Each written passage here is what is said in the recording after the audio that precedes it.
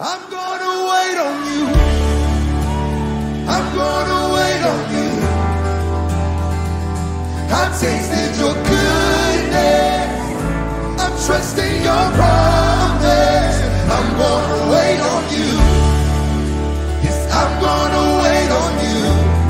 Yeah. I've tasted your goodness. I'm trusting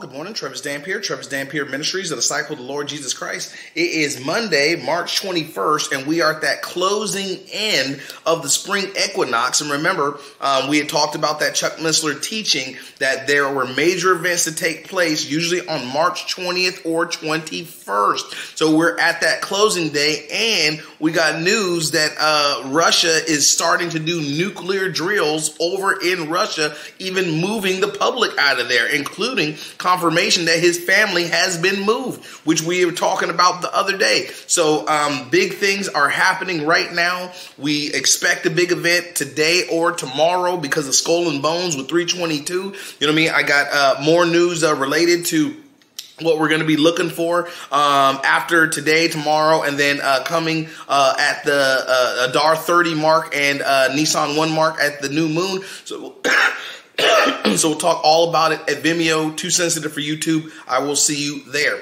Shalom. Love y'all. Jesus Christ surely loves you dearly. Click the Vimeo link below. See you there. Later.